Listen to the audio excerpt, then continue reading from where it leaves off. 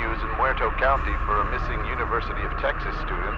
The sheriff's department says Maria Flores, a native of Uvalde, was last seen near the town of Newt. The vehicle was recently discovered abandoned, with officials reporting no signs of foul play. Authorities are hopeful that the expanded search the nearby communities and Chinatown will unearth new leads. Family and friends are urging anyone with information regarding her disappearance to please come forward.